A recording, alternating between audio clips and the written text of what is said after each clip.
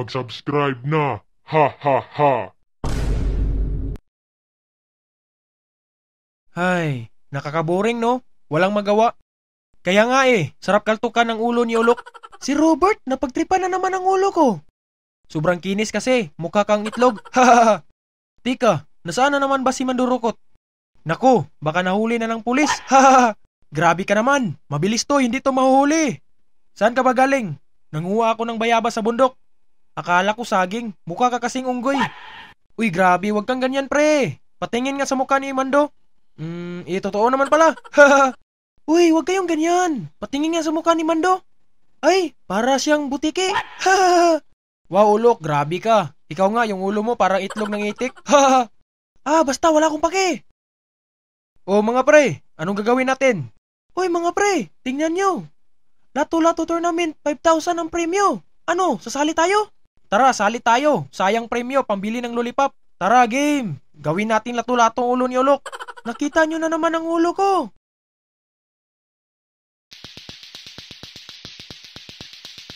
Oh, saan kayo mga tutoy? Sasali po sana kami sa tournament po. Sige, sige, mag-fill up kayo dito. Wow, ayos yan, Kap. Magaling ka pala maglato-lato. Basic lang to mga tutoy. Ano mga tutoy? Gusto nyo ba ng tricks? Sige nga. Nako, basic lang yan, Kap. Parang wala yan sa amin. Pasensya mga tutoy. Bago pa lang ako nito.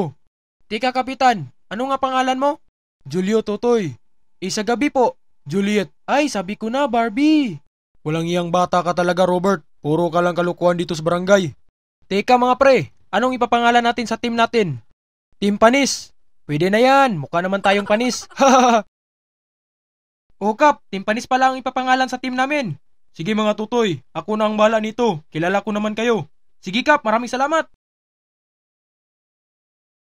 Ladies and gentlemen, ngayon po ay masasaksiyan ninyo ang laban ng lato-lato sa pagitan ng Team Panis at Team Sipunin. Ang kanilang paglalaban ay patagalan maglato-lato. Ang unang kalahok mula sa Team Panis, please welcome, Tygax alias Koto, laban kay Boy Asim. Tygax, galingan mo ha. Naniniwala ako sa iyo, Kupal. Kaya mo yan, Tygax. Pag ikaw nanalo, ibibigay ko sa iyo itong Rolex ko. Ako bahala mga pre. Hindi ako magpapatalo sa mga batang sipunin na yan. Umanda ka sa aking bata ka. Nakakadira yung sipon mo. Huwag kang ganyan kuya. At design naman yan. Umanda ka sa akin. Ha, tingnan lang natin kuya kung sinong mananalo. Ano, ready na ba kayo? Oo, bilisan mo kap. Sige. Ready, set, go! Let's fight! Mahina ka boy. Nagpractice na ako kagabi. Hindi na ako bubo maglato-lato. Wala akong pake, pangit. Abay mala, ang galing ni Tygax maglato-lato. Nakita ko kasi yan kagabi. Nagpractice. Hindi yata yan natulog magdamag. Kaso delikado tayo. Magaling yung batang kalaban niya. Ako bahala. Ano gagawin mo? Hoy, Boy Asim! Yung mama mo nandyan na may dalang patpat, yari ka! Ha? Nasaan? Oops, talo ka Boy Asim, binitawan mong lato-lato mo. The winner is Tygax alias Kuto. Ang daya niyo! Alis ka dyan boy, magugas ka ng pinggan. Ngayon naman po ay dumako tayo sa pangalawang laban. Mula sa Team Panis, please welcome, Sagbutan na Palpakan. At ang makakalaban niya mula sa red corner, Team Chismusa, please welcome Aling Nene the Martis. Inay, anong ginagawa mo dito? Sumali kami ng mga kumare ko para may pambili kami mamaya ng tuba. Inay naman, pasensya na anak pero dudurugin kita ngayon. Are you ready? All right, begin! Inay, alam ko magaling ka sa lato-latong kaldero pero di ako papatalo. Pasensya na ulit anak pero ang bobo mo maglato-lato. Grabe ka naman, inay. Anak mo ako. Anak nga kita, pero ang gunggong mo maglato-lato. Kita mo ba to, anak? Nay, paano mo yan ginawa? Ako lang nakakaalam nito, anak. Pero wag kang magalala. Tuturuan kita. Grabe, ang galing ng nanay ni Sagbutan. Grabe, nakakamangha. Paano kaya yun? Naku pre, kita ko yan kahapon sa banyo, naglato-lato gamit ang kanyang kaldero. Naku, ano naman yung kalukuhan ginagawa mo, Mando? Nangbubuso ka yata. Ha? Hindi kaya? Kunti lang. Kaya nga eh, basic lang sa kanya. Paano kayo mananalo si Sagbutan nito? Akong bahala mga pre. Ano gagawin mo? Aling nene, yung bulaklak mo, nabasag yung paso. Ano? Sino may gawa? Yari yan sa akin. Umalis na si Aling Nene dahil sa kanyang bulaklak, kaya ang nanalo ay si Sagbutan Palpakan. Yes, nanalo ako mga pre. Nice one, Sagbo. Mabuhay ang mga anak. Dumako na po tayo sa ikatlong laban ngayong araw.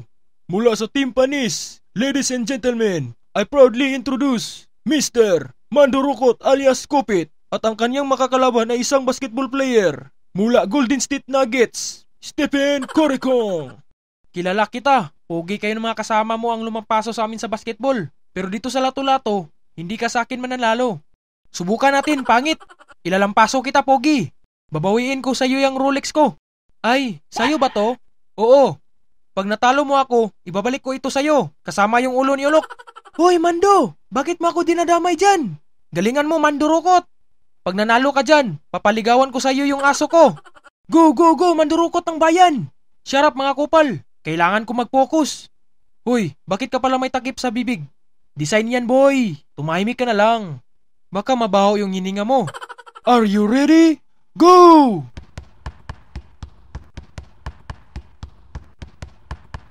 Tingnan mo to pangit. Alam ko hindi mo to makakaya. Wow, grabe. Paano mo yan ginawa? Basic lang to, Kap. Ano ka ba? Galing talaga ng pogi yun. Talo na yata si Mando. Aba, ang galing. Nag-dribble ka pa. Ha, ang galing talaga ng pogi to. Talo ka na boy, mahina ka. Umuwi ka na sa inyo at matulog yung pangit mo eh. Ha, kita mo yun? Yan yung malakasan kong tricks. Ah, ganun ba? Ito, tingnan mo. Teka, asan damit ko? Bakit nawala? Ito pa, may tricks pa ako. Naku po! Nice one!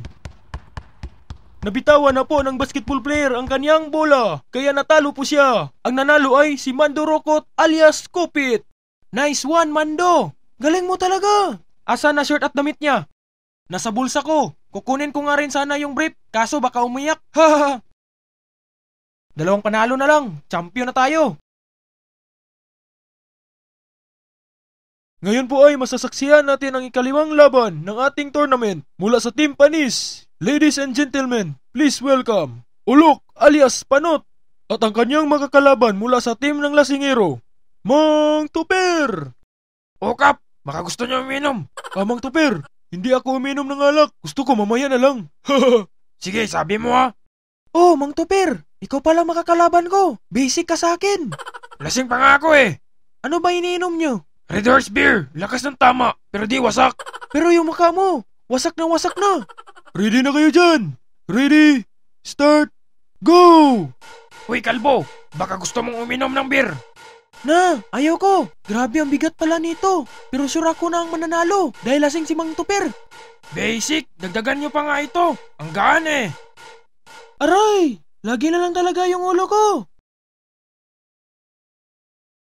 Dahil bumagsak na si Mang Tuper dahil sa kalasingan. Ang nanalo ay si Ulok alias Panut. Alright, apat na panalong sunod-sunod na tayo. Isa na lang. Panalo nga, may bukol naman. Naku, Ulok, malayo yan sa bituka. Grabe, ang laki ng bukol ni Ulok. Naku, para ka ng unicorn. Uy mga pre, sana ba yung nanonood kanina? Hindi ko alam. Bakit sila nagtakbuhan? Hay nako mga pre, tingnan mo nga yung lato-lato nila. Tayo po ay dadako sa mga kaibigan sa huling laban at ang mananalo dito ay siya mag-uwi ng 5,000 pesos at isang sakong buhangin. Kaya mga kaibigan, please welcome mula sa Team Panis, Mr. Robert alias Bakal at ang kanyang makakalaban si General Luna alias Antonio. Yari si Robert. Bakit? Yung kalaban niya kasi bayani. Hahaha. Basic yan kay Robert. Are you ready? Opo. Are you ready? Yes, sir. On my mark, go! Basic sa akin tong granada lang naman ito eh. Alam ba, Totoy, kung gaano karami ang kalaban ko sa Mindanao? Hindi po. Ilan? Sampung platitong pansit ang aking kalaban. Ang corny mo, sir. Para kang mais. Tingnan mo to. Papakitaan kita ng tricks. Ito, tingnan mo. Hala, natanggal yung pin. Walang iyak ang bata ka. Boys, takbo na!